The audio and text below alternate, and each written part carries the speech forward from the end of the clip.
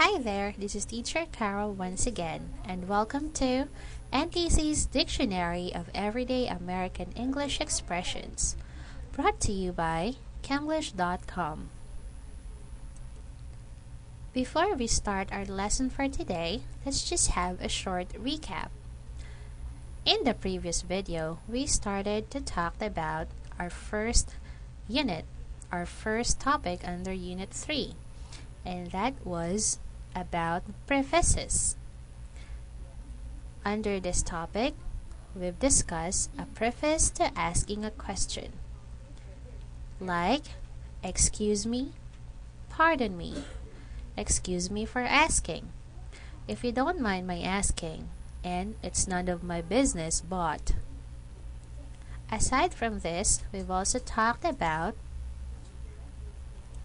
a preface to making a statement in a formal way, like, if I may say so, if I may be so bold, if it's okay with you, if it pleases you, please be advised that, and so on and so forth. Hope the following expressions that we've started to talk about in the previous video would be very useful for you to start a conversation. Now, let's continue our lesson about the topic prefaces. Today, we will discuss the continuation of this topic about a preface to make a statement, but now using informal way.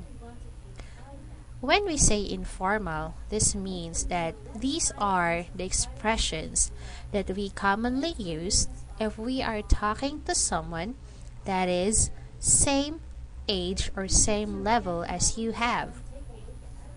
For example, you can use these expressions with your friends, brothers, or sisters, but not with your mom, your dad, grandparents, boss, teachers, or someone that is older than you.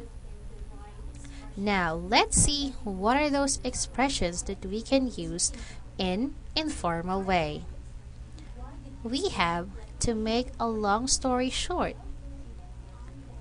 What I would like to say is, but I just wanted to say, by the way, if you ask me, and not that it's any of my business.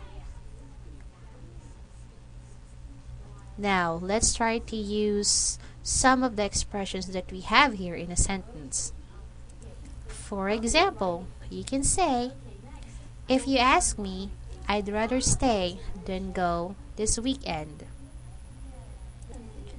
In this example, you're trying to say to someone that is having a same level as yours or same age as yours that you choose to stay than go this weekend.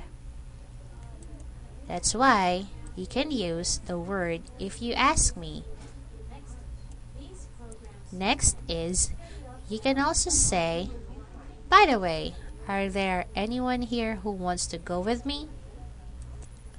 In this example, seems like you caught the discussion and you're trying to suggest something. That's why you use the expression by the way. And you indicated what was your intention or what do you want to say. In this example, you're trying to ask who wants to go with you. Now, let's practice the following expressions again. Everybody say, to make a long story short, what I would like to say is, what I just wanted to say, by the way, if you ask me, and not that it's any of my business. So again, here are the expressions that you can use in informal way. Now, let's move on to our next preface.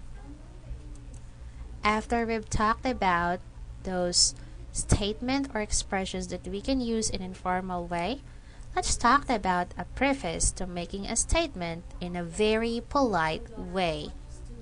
Now, These kinds of expressions are used if you are talking to someone superior than you. Now, we have here, as you requested, for your convenience. We apologize for the inconvenience.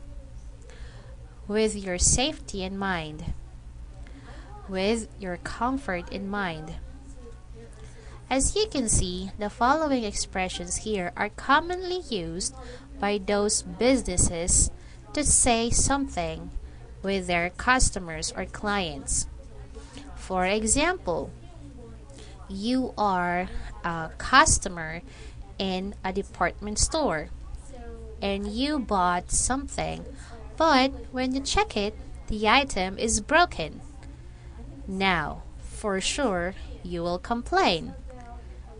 As a sales staff in that department store, they will use this expression. For example, we apologize for the inconvenience, but we will change this item for you. At first, they have to say sorry about the inconvenience that they've caused. And the next thing that they're going to say is the solution. And the solution in this example is they will change their item. Next is they will also use the following. With your safety in mind, you should fasten your seatbelt. In this example, they're trying to tell you what are the things that you need to do, but they will use a very polite statement. As a customer or as a client, they have to make sure your safety. So, let's try to practice the following expressions again.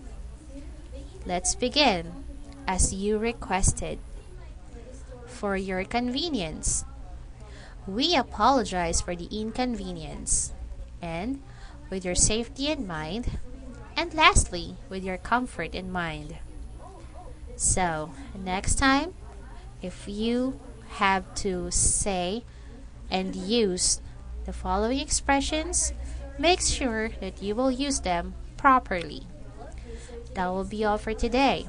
Join me again in the next video as we talk about communication barriers.